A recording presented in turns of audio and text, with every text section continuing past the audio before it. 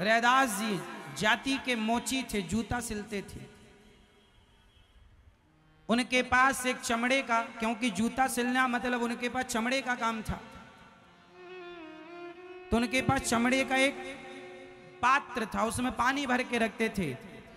चमड़ा धुलने वाला मतलब चमड़े को धुलना पड़ता ना जूता बनाने के पहले। तो रैदास जी जूता बनाते थे तो चमड़ा धुलते थे। तो जिस पात्र में वो चमड़ा, उसे बोलते कठौता। फिर कहा, कहावत चालू हो गई कि मन चंगा तो कठौती में गंगा।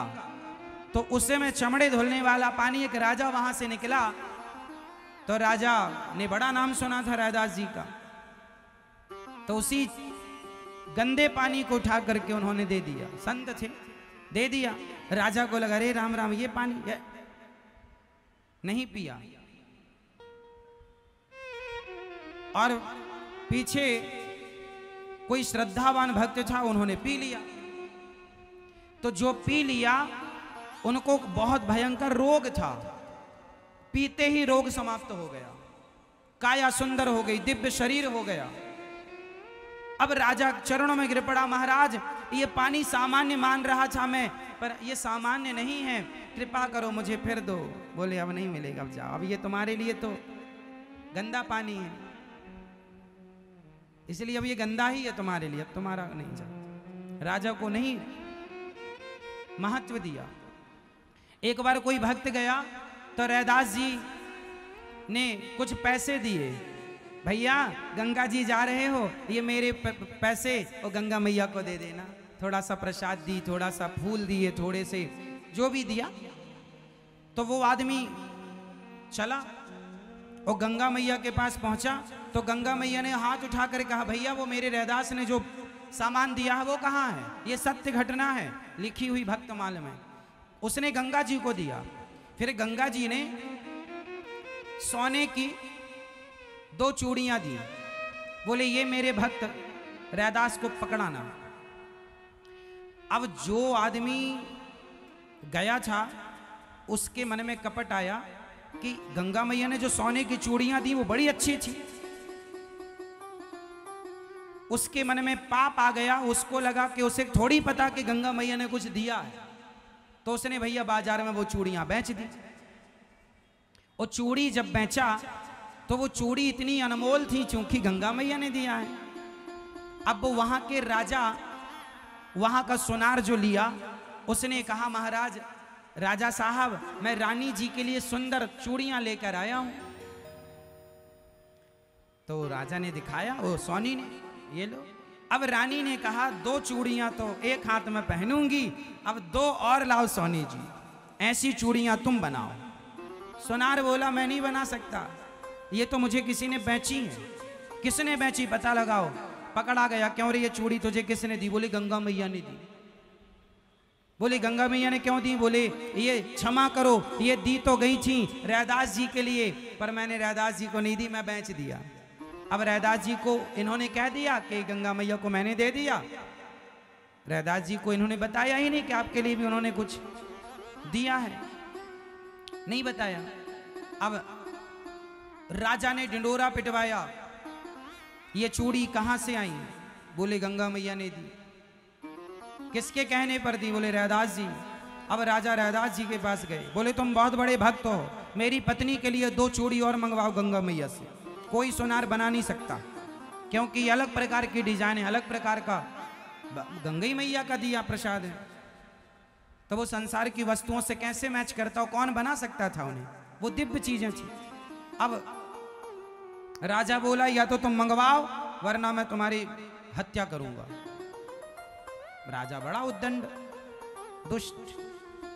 अब रैदास जी बोले, भैया, मार दो और क्या करोगे? लेकिन मैं अपनी मैया को परेशान नहीं कर सकता। कोई मैं कोई मांगने बैठा हूँ? कोई व्यापारी हूँ? वो तो मैया ने अपनी श्रद्धा से दे दी तो दे दी। मैं कोई माँगता छोड़ी हूँ? मैं करता क्या इन चीज़ों का? बड़ी कथा है राधास जी के पास एक बार भगवान आए थे, पारस पत्थर लाए थे, कि लो इसको घिसना सोने, लोहे पर सोना होगा, जो चाहे करो। मना कर दिया जा प्रभु, मुझे भजन करने दो, ये पैसा बुद्धि बिगाड़ देता न चाहिए। अब भैया, राजा जिद्दी, बोले, फांसी पर लटकाएँगे आपको? अब रहदास जी की बात आ गई, कह दी, तुम सच्चे भक्त हो तो बुलाओ गंगा मैया को। दें वो चूड़ियाँ। लो भैया तब रैदास जी ने गंगा मैया को पुकारा, हे माँ, ये मुझे मार दें, इसका गम नहीं है। लेकिन आज ये मेरी भक्ति पर आँच आ गई कि आप भक्त हो या ऐसे ही हो। तब उसके जो कठौता था, जिसमें गंदा पानी भरा रहता था, सबके देखते उसमें गंगा मैया का हाथ प्रकट हुआ और फिर वैसी की वैसी दो चूड़ी लेकर के गंगा मैया आई और लेकर आई तो सही, दर्शन सबने किया और फिर सबने दर्शन कर लिया। और गंगा मैया का हाथ सबके देखते देखते अदृश्य अंतर्धान हो गया। राजा चरणों में गिर पड़ा और तब से कहावत चालू हो गई कि, मन चंगा तो कठौती में तो पहली बार कठौती में गंगा श्री रैदास जी ने प्रकट की थी। तो रैदास जी मोची थे, लेकिन बड़े बड़े संत उनके घर में कढ़ी चावल खाने आते थे, उनकी पत्नी के हाथ का। भगवान स्वयं आते थे कढ़ी चावल खाने। उनके यहाँ लंगर चलता था। बाद में भगवान ने आदेश दिया रैदास मेरी आज्ञा है कि तुम्हें मैं धन देता हूँ, तुम उसका सदुपयोग करो। तो उनके जो शालिग्राम भगवान थे तो वहाँ पर रोज उन्हें आठ स्वर्ण मुद्राएँ मिला करती थी। भगवान दिया करते थे राधास जी को। और कहा था कि इससे तुम समाज की सेवा करो। तो वो अखंड लंगर चलाते थे, भंडारा। जैसे गौरी गोपाल जी का भंडारा चलता है ना आपको क्या लगता है, ये सामान्य बातें हैं? हमारे ऋषि मुनि इस पद्धति को जीते रहे, ये कार्य करते रहे हैं। अन्य क्षेत्र संत लोग चलाते रहते थे जिसके पास सामर्थ्य थी। रैदास जी चलाते थे। और रैदास जी के यहाँ कोई आए, सबको पेट भर वो। और वो, और इतना सब था, और फिर भी वो कुटिया में जूता सिला करते थे। कर्म नहीं छोड़ा। अपना जूता सिलते जो मिल जाए उसी से साधु सेवा करें। और जो आठ स्वर्ण मुद्राएँ उन्हें रोज मिलती थी, अब आठ स्वर्ण मुद्राएँ बहुत होती हैं तो उससे जो भी उन्हें मिलता, वो रोज बेच कर और उससे दाल, चावल, सब्ज़ी, रोटी खरीद कर और संतों को बंटवा। एक रुपए बचाते नहीं थे। जो आए पूरा खाओ। आज खाओ, कल फिर ठाकुर देगा। तो शालिग्राम उनके भगवान उन्हें रोज दिया करते थे।